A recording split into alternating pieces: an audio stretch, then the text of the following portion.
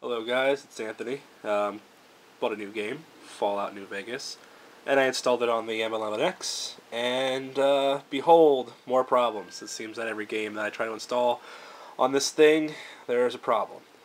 Well, it's okay, because uh, through forums and dicking around on the internet, I figured out how to fix it, and I'll share it with you as best as I can.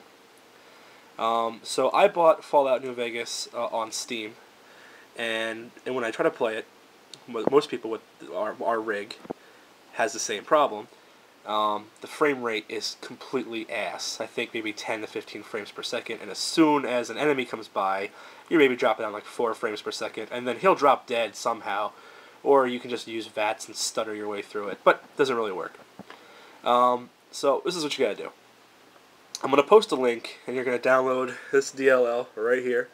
Uh, it's a DirectX 9 DLL and you're going to put it on my computer, C drive, uh, program files, my case 86 because I have 64-bit system. Um, we're going to find Steam. You're going to go to Steam Apps, Common, and we're going to find Fallout New Vegas, and you're going to put that right in here. Uh, I already did that. It's right here. Ta-da. Um, once you do that, when you try to run Fallout New Vegas, it's not going to run. It's going to loop.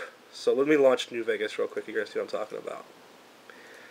We'll do this, and it's going to detect my new video settings. Hooray. If, uh,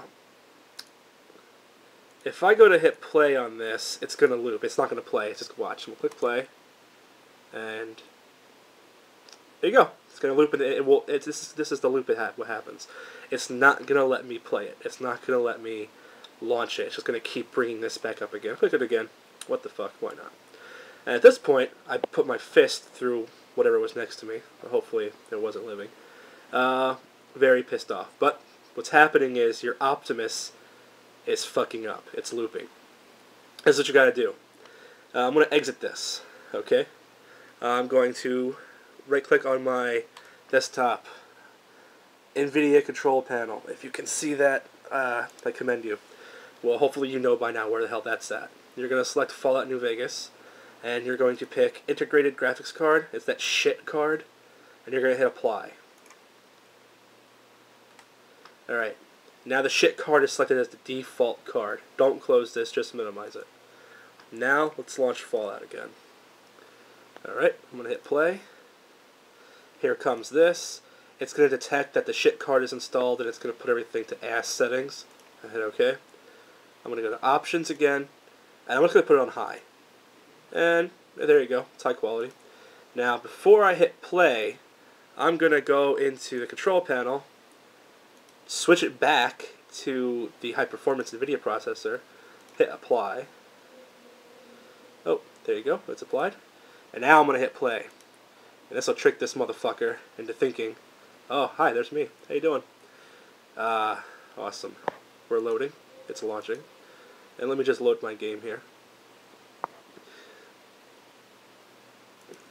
My wireless mouse is freaking out, it's okay.